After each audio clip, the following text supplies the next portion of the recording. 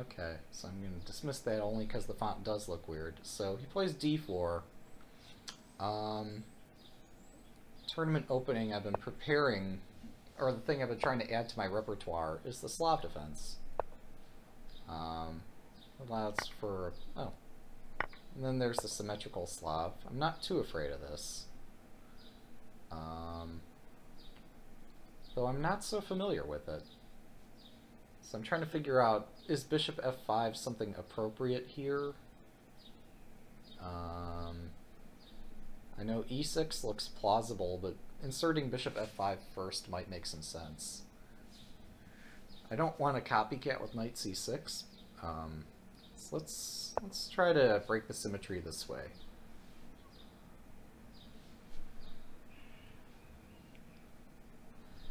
And perhaps this sort of thing is a motivator for me to um, to try to prepare something else other than the Slav. Because I did have some theory prepared here, but not nearly as much as most players prepare for this opening. Okay, so I see he's trying to put his bishop outside the pawn chain. Um, so I'd originally considered bishop f5 and e6, but I'm trying to avoid symmetry. So, for the sake of getting something fun moving here, uh, I'm playing g5. So, there's some risk there for sure. But hey, it's a game, right? I'm trying to learn things. After this game, we'll have a little bit of post-mortem, trying to figure out, um, you know, other than 3 queen takes d5, which I was not going to do. Not today not in the mood for that kind of move today. Um, other than that, just what opportunities were missed by black?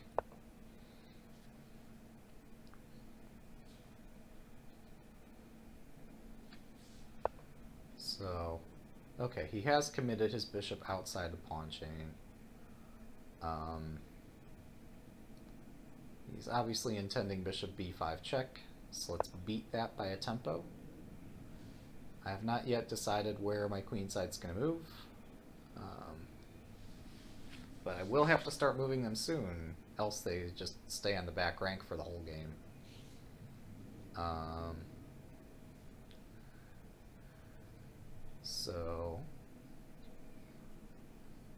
Okay, actually the interesting thing here is that my queen doesn't make any sense on c7 or on d6. Doesn't really make a whole lot of sense on a5. So by process of elimination, the queen is actually the one with the fewest options. Um, so I'm electing to move my queen to b6. And say if he protects this by playing queen c2, uh, I could consider knight a6 or knight c6, intending knight b4. Um, let's see, can I highlight some of this? I was intending to, there we go. So I could do something like this. Obviously he would counter with uh, with a3. Um, so I'd have to think carefully about where I want this knight to end up. Uh, perhaps a better idea would be this, and if a3, then instead choose this way of moving forward. Um, oh, another thing I should have thought more about, I was thinking about earlier, was um, playing b6 and bishop a6, trying to trade for this light squared bishop, and develop my knight over here. But I don't like having the knight developed on the rim. Uh, looks kind of absurd there. Uh, so, yeah, in the interest of not trapping my knight, um, and given that his pawns and pieces lock down a lot of squares. This seems to be the best place for my knight to go. Again, I think he's probably going to play a3 here. Um, although that does create a weakness on b3.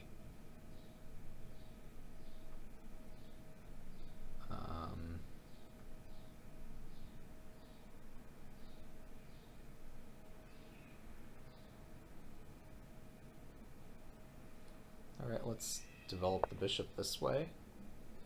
If he hits my bishop, I can just take the knight. And it creates some imbalances here. I know I've been playing really loosey-goosey kind of moves here, but um, I was originally going to play um, bishop d7. Uh, actually, e6 doesn't look so bad here. Um, e6 does defend the pawn, and thereby allows my knight to move freely. Um, where do I want my rooks? I want to put one of my rooks on c8, but which one?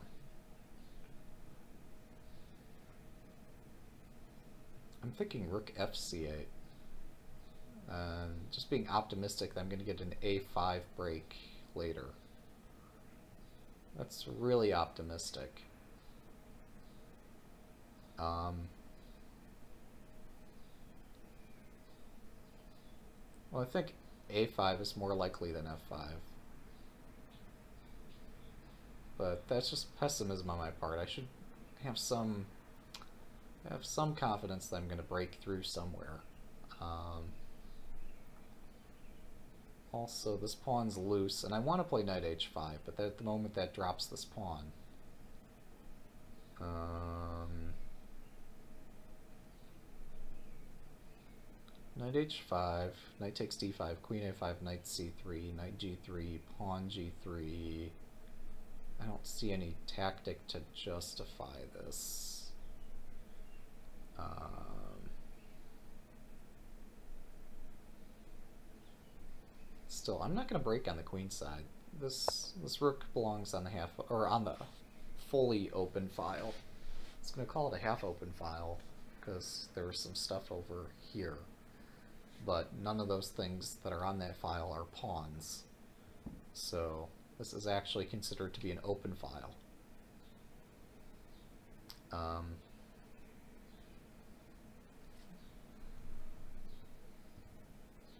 And bishop to e6, while usually a bad idea in similar opening positions, might be a thing here. Um, also e6 and then bishop f5, taking, trying to exploit this weirdly placed queen might be a thing. Um,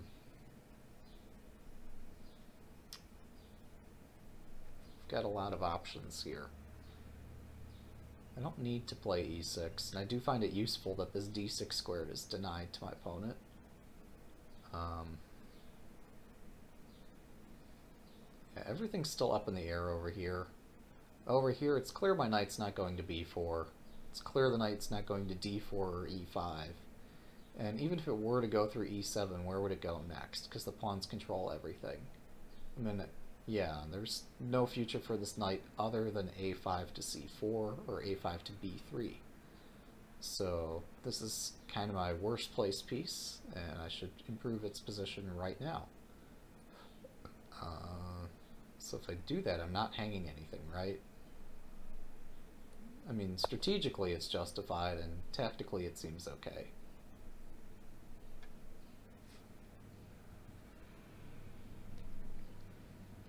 This is very much not in my style. My style is just directly attack the target. Um, it's very caveman chess uh, is my style. Um, so this sort of thing where I'm nuancing my pieces to maneuver them forward step by step and not hang things and stuff. Really, again, not my style. Um, but uh, improving the position of your worst place piece is a thing in chess. I'm still curious where in the opening I um, I might have missed opportunities.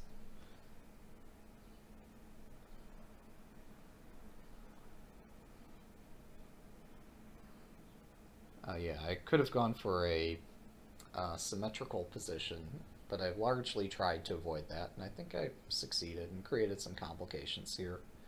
Um, I think he doesn't like the fact that I'm sort of kind of threatening knight b3.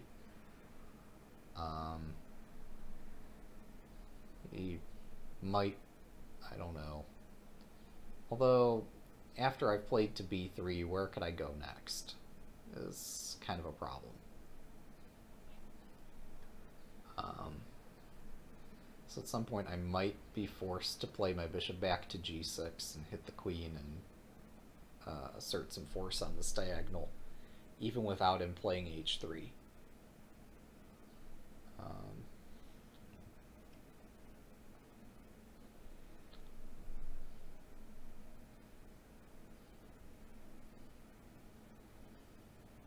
also, he might be trying to set some kind of silly trap, like moving the queen somewhere, and then I play knight b3 and he plays knight a4, and suddenly my knight's on pre. Um, that's another way to try to play the position. uh,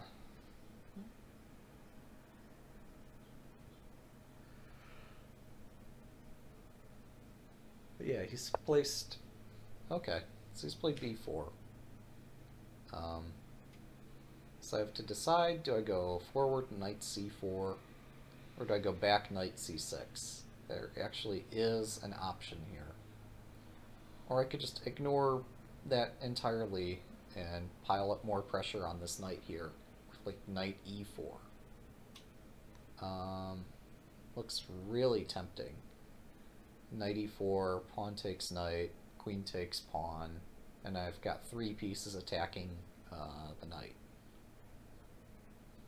Knight e4, uh, I was going to say he could bring up another defender to defend it somehow, and then knight takes, but he doesn't have any defender. Um, we could do knight e4, knight a4, and both of our queens are under attack, or knight e4, knight takes d5, rook takes, knight takes, pawn takes knight, pawn takes knight, pawn takes pawn. Actually, the bishop's hanging here too, so there have to be another in-between move. Rook takes, wait, how's this go? Knight e4, Knight moves away, like knight takes d5. Rook takes queen, knight takes queen. Rook takes bishop. Um, pawn takes knight, pawn takes knight. Uh, that looks pretty good for me. So I'm not seeing any tricky tactics to try to get out of this, so I'm just going to assume we're going to trade a knight for a knight. And I'm winning a pawn, and at the end of that, uh, I'll have a rook on c3 or a knight on c3 hitting this, and it's just going to be beautiful.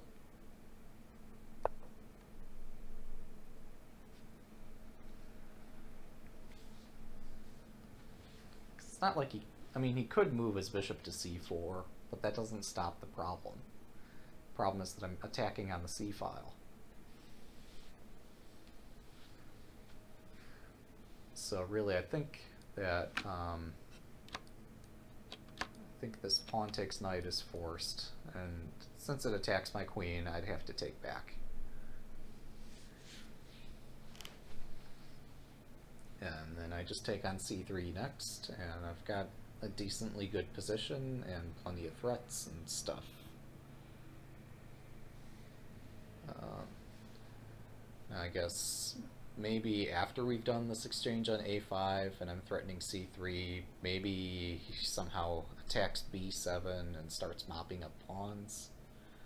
I wasn't too concerned about that possibility because my queen does defend a7, so at least I'm keeping at least the a7 pawn.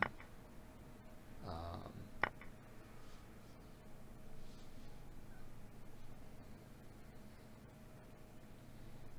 um, now that I'm looking at it, he's got queen a4. Um, which thankfully does not change the situation very much. Uh, it does force me to play queen takes knight, and then he can play queen takes a7. Um, I've still got a lot of pressure on his position, and I could choose to liquidate after that. I could play rook a8, queen takes b7, rook takes a3, and sure, he does win um, my e-pawn, but I don't care. Um, just material-wise, even if we do trade off all the queenside pawns and he wins a pawn, it'd still be a very difficult endgame for white to win. And my pieces are very active, so I'm not concerned. Um, probably he's calculating queen a4, queen takes, queen takes a7, um, bishop takes f3. Uh, he's forced to play. No, he's not.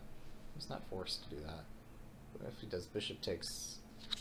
Uh, I guess I'll try to illustrate this here. It's queen a4, queen c3, queen a7, uh, bishop takes, and if bishop takes, then I have knight to d2 forking um, uh, f1 and f3. Now you could just move the rook away, uh, and then I end up taking the bishop and doubling his pawns. Double pawns aren't so bad. Uh, this bishop on g3 is actually very strongly placed. Um, so he's probably calculating something like this. I've been playing too much blitz and not enough slow chess, so I'm kind of getting myself into trouble um, on account of not having considered this uh, queen h or queen a4 move. Let's draw a red arrow there. I missed that. So it's causing me a little bit of a headache here. Um, unfortunately, my in-between move, knight takes knight, just drops my queen, and knight takes bishop, winning a bishop for a queen, isn't good enough. And there's just not enough compensation for that, so I'd need to do queen takes knight. Um, anything other than queen a4, I would be surprised if he gets counterplay because I have knight takes knight. Um, queen a4, if I try to trade queens, I'm already down a knight. Maybe I could trap a piece and get the material back, but that's pretty risky. Maybe it works. I doubt it. So if queen takes, knight takes, bishop d7, say knight c5 maybe? I don't know. It doesn't look plausible, so we're just going to go with my gut here. My gut says that this is the only move that looks even plausible in this position. Um, so just going to play that. Uh, now I do have this pressure here. I do have maybe this hitting f3. Um, I've got enough pieces on this file such that... Oh wait, I don't have a checkmate threat. I thought I did, but it's not a mate. Um, hmm. So, yeah, obviously I'm out of form, is the point. Regardless, he just takes the pawn. Um, so do I take on g3? Bishop is quite the thorn. I really don't like it. Um, I mean, you hear all these things about good bishop, bad bishop, and all that, but this seems um, very much to the contrary. This bishop on the light squares isn't able to attack very much because uh, just the way all the pawns are placed. Um, so obtaining that light squared bishop might not be so useful. Well, before I consider trades, can I win material? Um, like, what threats can I make in this position? I could move queen b2, threatening rook c2. Um, also, queen b2 threatens rook a8, trapping the queen. Wow. Uh, okay, this got a lot more complicated. So just to... So it defends this. Knight already defends that. And so rook a8 is a pretty nasty trap. But maybe counter with rook a to b1. Um, after which, oh man. So say we see a combination that goes something like this. Queen there, rook here, just innocently defending. Uh, rook a8, rook ab1, um, after which both queens are hanging. Uh, queen takes b1, queen takes a8, queen takes e1 check. So it's that sort of thing I guess I'm planning here. Because I have active pieces. I could take g3 whenever I want to, but this threat of doubling on the second rank contains more than a bit of poison. Um, so yeah, I'm going to intend rook c2, which combined with this other fork uh, of these two squares is just pretty strong.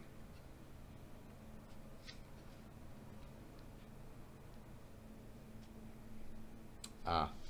Uh, it's, it's, the reason my style or my uh, Lichess looks that cool. It's just, I have a style installed and I also have some user scripts installed that make it just look nice. Um, so let me see if I can find, um, there's a team on Lichess called User Scripts. Um, let me see if I could get the URL for that. Where to go? All teams, user script. Uh, I don't see it. But yeah, you can, if you install this style and you install the user script, you can have your Lichess look awesome. I just got really bored of the black just the really bland look that the site offers. It's functional, but it's not beautiful. So if I, I'm sorry, I should put the rook down. Let's think about this. If I play rook a8, he plays one of his rooks to hit my queen, probably, because uh, he wants to get his queen out of there. And if I take, he could, yeah, no, I'm sorry, I calculated this out last turn. I'm calculating it mentally but not articulating it correctly. But I see that I am winning material here.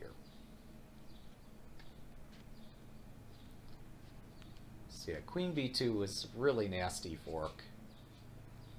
I'm curious before queen b2 um, just how unsound was my play. Because I'm pretty sure after queen b2 I'm just winning at least the bishop. Um, so yeah, here's where we get to talk about Zwischenzug. So normally you think, oh yeah, I just take the queen, he takes my queen, no big deal, right?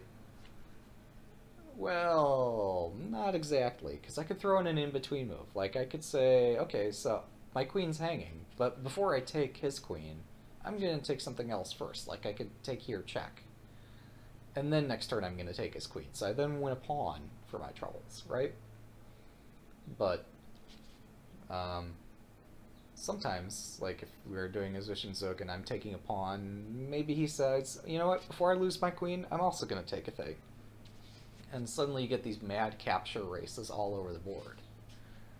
Um, here, though, uh, there's a difference. I'm going to take the rook. He could, he could also do an in-between move of his own, taking my rook. But then I take this rook with check. So this queen is trapped. Um, and he's got no in-between move to save it. Yeah, so this does in fact happen in the game. So this is another in-between move. This is two in-between moves in a row. And now I'm up a rook. Um, okay. Still up a rook. Still up a rook and a pawn. And GG. Alright. Yeah, good game, well played. I'm kind of curious about some of the details of this opening. And what the heck, let's run the computer analysis while we're thinking. Um, okay, so I do have this set to look at master games and such. Okay, yeah, unsurprisingly, this does not happen very often in master games. Um, and even when masters come across this, oh, majority of the time they do play c takes d5. Occasionally, I guess they'll get bored and play something like knight f6, but um, predominantly this is the move. Knight c3. Um, both. Okay, knight f6 is the more popular move, so I'm assuming it's probably um, something that's going to lead to positions that I'm more familiar with. h6. Okay, my decision of h6 was not a top move. I should just keep developing my pieces. Um, knight c6 is... Um, how many times is that? That can't be right, can it? Oh, it's 70 times more popular um, than bishop f5.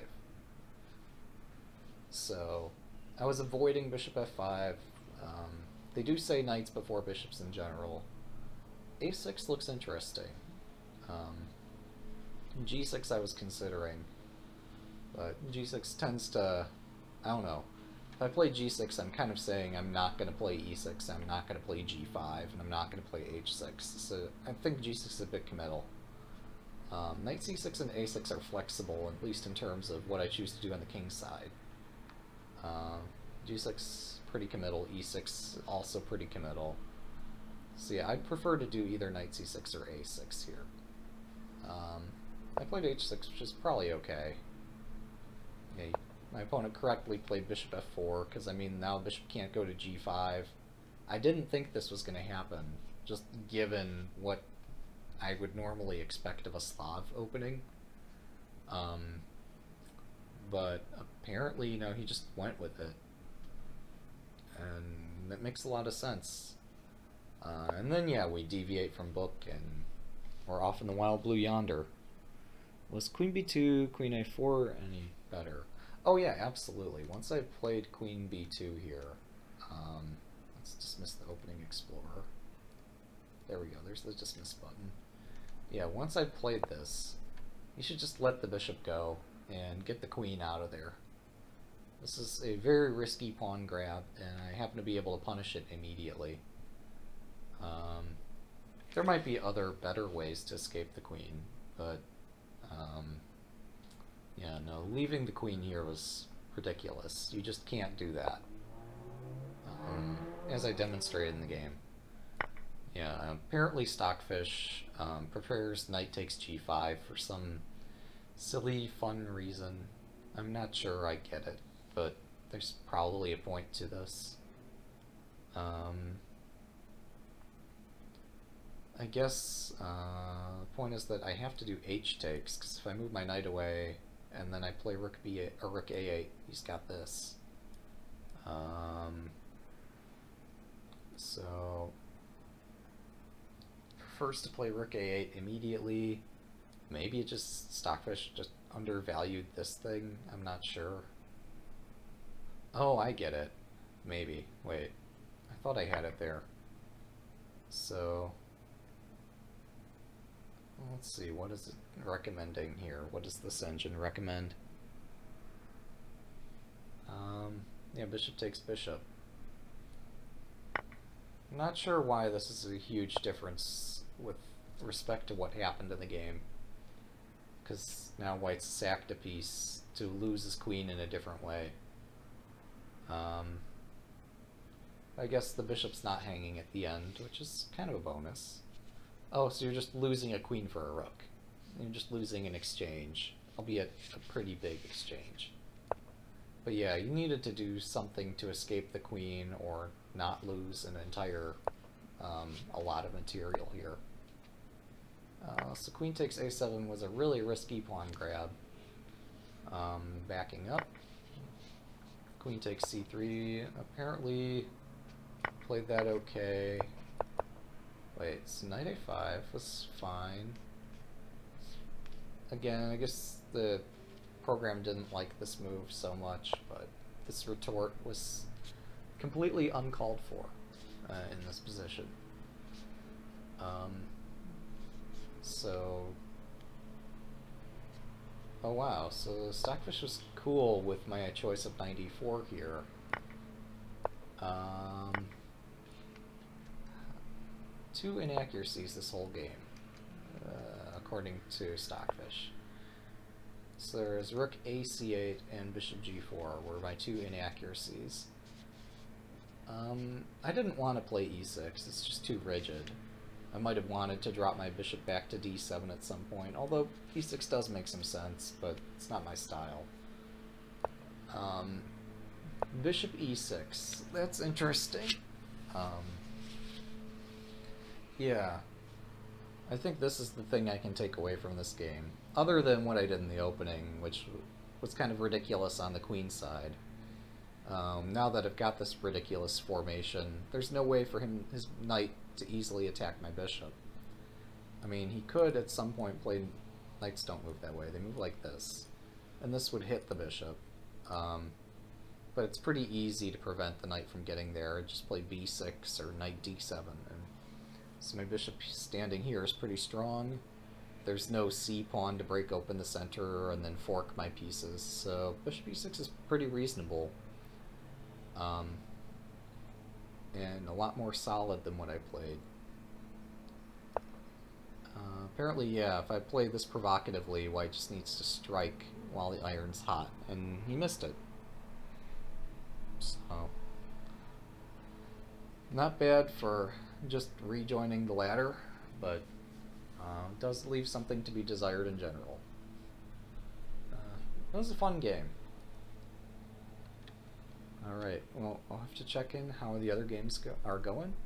Um, so let's get to that. And I'll see you guys next time.